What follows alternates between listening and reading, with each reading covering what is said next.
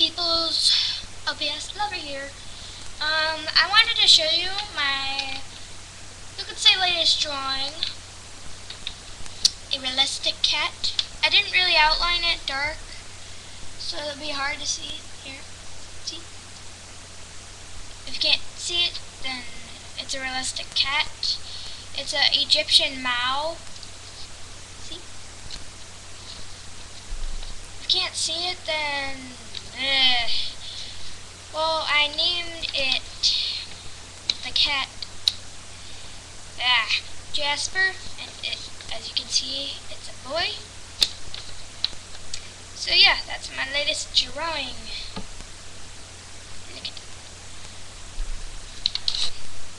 See? I'm done here.